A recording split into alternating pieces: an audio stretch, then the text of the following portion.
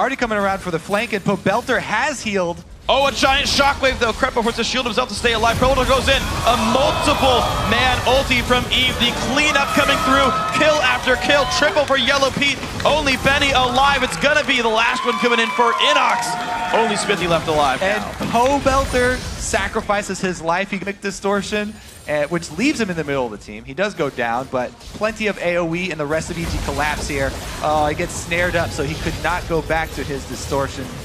Oh man, they just got annihilated. Great flank from Snoopeh coming around the back. He did not go back to heal.